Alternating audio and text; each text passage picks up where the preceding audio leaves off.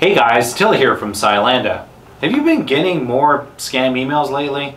I'm not sure what's been going on in the criminal underground, but across the board, we've been receiving reports of a dramatic increase in phishing emails and business email compromise. That's been across all industries, especially those that are using Microsoft Office 365 for email. As if we don't have enough problems. Now this. So although we've reached out to the FBI for guidance, what we've noticed is that a lot of these emails are coming from a compromised service, specifically Notion.io. Here's their website. Now it's a legitimate service, but they've clearly been compromised and they're now distributing malicious payloads to users' mailboxes and worst of all, these emails have been disguised as you know, being from people who sent emails to you in the past. So here's what the uh, emails have been looking like. Uh, they look like they come from someone that you've, uh, you know, perhaps communicated with in the past. subject maybe has like follow-up and, uh, you know, it's the name of the person and it'll say something like, this email contains a secure link to OneDrive. So please don't share this email link with others. If you have any questions about the document, you know, or if you need to modify the documents, please let me know. And the key thing is that at the very bottom of this compromised email, it actually has the person's real email signature. So it looks pretty legitimate, but of course the English is all screwy, right? And um, you know, unfortunately, if one of your users clicks on that link, it will deliver a malicious payload onto that PC. And that malicious payload, it kind of sits and waits for instructions from the cyber criminal. But, you know, what we've been seeing happen is that the Office 365 email account gets hijacked and it starts sending email messages, spamming people in your name and delivering that same payload that got your computer infected in the first place to others. Well, what can you do?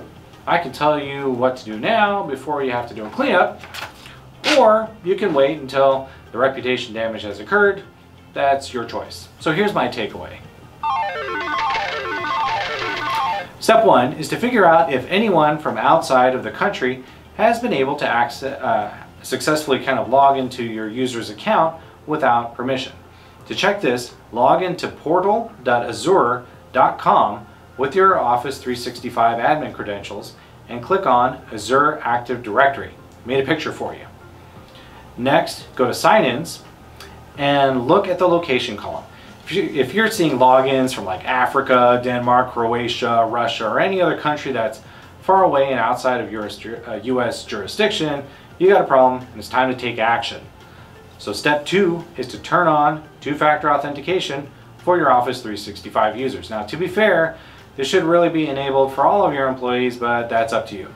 Either ways, it's easy to turn on. Just go to the list of Office 365 users in your account, click on any user to edit, and click on Manage Multi-Factor Authentication. From that portal, you can turn on or off MFA for any of your users. Now what this is going to do is either text your users a code or require them to approve a login from the Microsoft Authenticator app before they can log into their account. Now don't worry, I know what you're thinking, it's not going to ask them to enter a code every day, every time they log into their system. It's only when they add a new device to the account. The Authenticator app, it's free. It can be downloaded onto Android or iOS devices, but we found that text messaging is easier if you have to enable this on a lot of accounts at the same time. Step three here is to change the password on the user account and kick the criminals, I kicked over there, out of there. now to do this, have the employee log into their Outlook web access portal. The website is outlook.office.com Click on their profile image, click Profile, and choose Change Password. Next on the same profile page, have them click Sign Out Everywhere and click Yes to confirm that they want to sign out all of their sessions and devices. This will knock the bums out of that account and stop the bleed. Step 4 is to eliminate any rules that the cyber criminals set up in that account that could be forwarding inbound emails to them or cleaning up their tracks. Now, these guys are smart, so there's a good chance that they set up some nasty rules in the compromised mailbox. To clean this up, from the same Outlook web portal, click on the gear icon to open settings and type in the word rules as your search term. Up will come the results, and the first one on the list is inbox rules. Go through there and make sure that the cyber criminal isn't forwarding your emails out, deleting messages, or doing anything unusual that would still allow them to damage your company's reputation. Now be on the lookout guys as we have been seeing this a lot lately. It's a real problem and if you are in charge of IT, you know how quickly this can get out of control.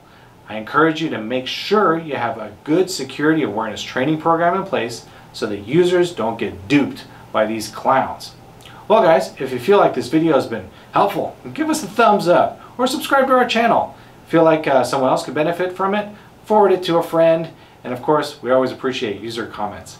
I'm Attila with Cylanda. Stay safe out there.